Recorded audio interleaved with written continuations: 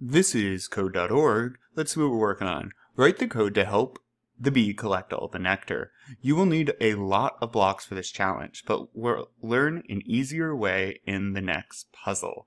Oh, we might not, we might already know that way.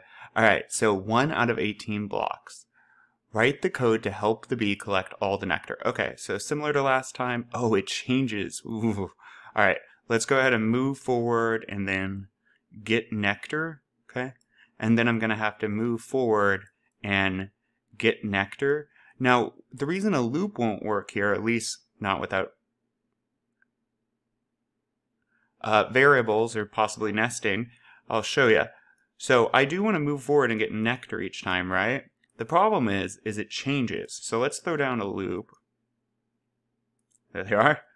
And let me grab this, repeat, and how many times? Well, I'll say one time, say, because that first number is a 1. And let me hit run.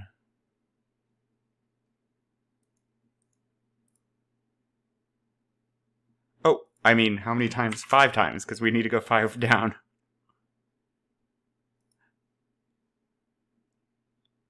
And now, I'm not getting enough, because I'm only grabbing nectar once from each flower.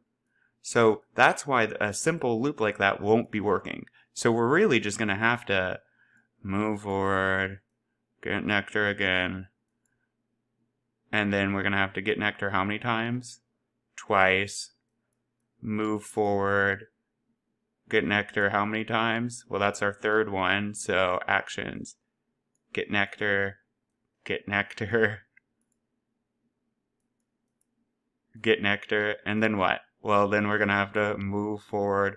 I am going to use a loop here instead of drawing out get nectar four times. Actions, get nectar. Because, right, how many nectars are in that? That is four. Let's make sure we're on the right path. I'm going to go ahead and hit run. Four times, four pieces of nectar. So let me actually use step just to walk through it. Okay, step forward, I get the first nectar.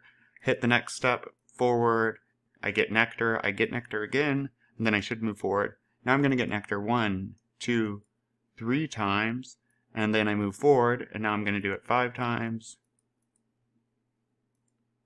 I do it four times, I mean, and then finally five. So, just about there.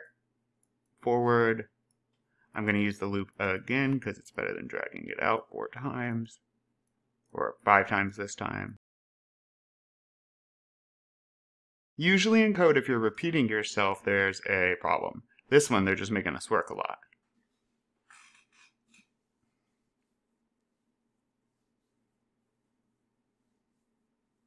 Awesome. We did it. Onward.